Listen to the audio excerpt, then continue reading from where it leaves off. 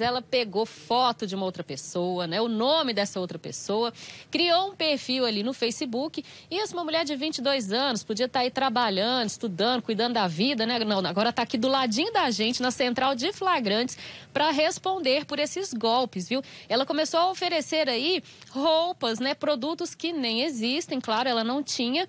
As pessoas que olhavam ali no perfil se interessavam, faziam o pagamento e ficavam a ver navios, viu? Só que a Guarda Civil Metropolitana conseguiu identificar essa mulher e trouxe também três vítimas aqui para a central de flagrantes. Eu converso agora com o GCM. Wagner Rodrigues, boa noite. Como é que foi que vocês conseguiram, então, encontrar essa mulher? Porque a gente sabe que os crimes praticados né, pela internet são bem difíceis da gente é, detectar essa pessoa. Boa noite. Boa noite, boa noite a todos que nos assistem. Realmente, os bandidos usam de todos os subterfúgios da internet porque acreditam que vai ficar impune, né? Escondendo atrás de um computador de um celular. A questão é que as polícias do estado de Goiás e da cidade de Goiânia têm se qualificado também e estão bem à frente deles. Eles têm que ter noção disso. Foi feito um trabalho de inteligência, um trabalho conjunto, juntado às forças. Nós trabalhamos hoje o dia inteiro atrás dessa moça. Conseguimos identificar ela, fizemos algumas diligências aí na cidade de Aparecida de Goiânia, e umas, Guapó, e localizamos elas na cidade de Senador Canedo. Ela usava esse perfil, que diga-se de passagem, é bom que se deixe claro aqui, é de um, é uma mulher que existe, a foto que ela usava também é de uma pessoa que existe, Fica um recado também para as pessoas que usam suas redes sociais, deixar elas totalmente abertas para qualquer pessoa acessar fotos e seus dados pessoais. Tem que ter mais cuidado com isso. De posse dessa situação aí, ela anunciava roupas que ela tirava foto também na internet, grupos de WhatsApp e de vendedores da 44, lançava como se fosse delas.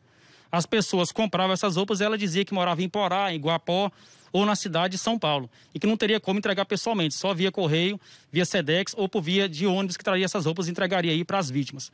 As vítimas de boa fé faziam essas transferências. Nós levantamos hoje transferências entre 180 reais até 900 reais.